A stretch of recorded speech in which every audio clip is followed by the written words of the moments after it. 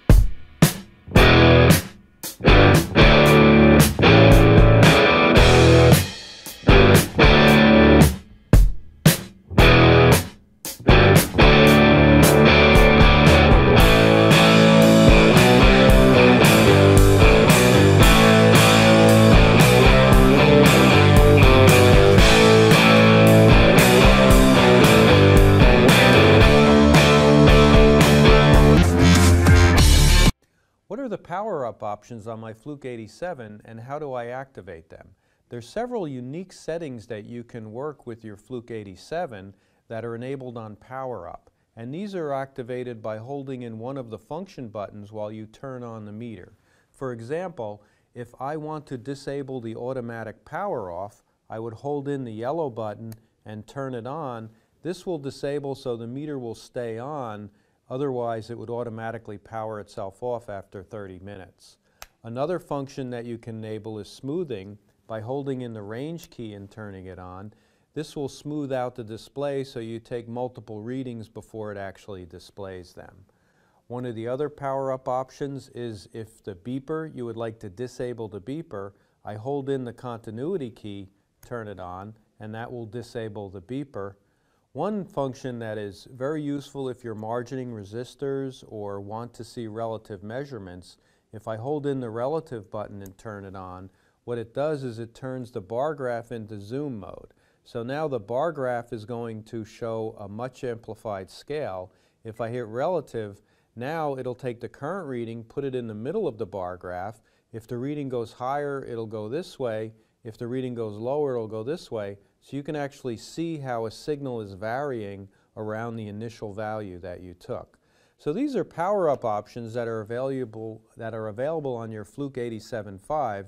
And as our founder, John Fluke, said, the customer is always entitled to a little bit more than he paid for. So this is, these are functions that are in your Fluke 87 that you may have not known how to take advantage of.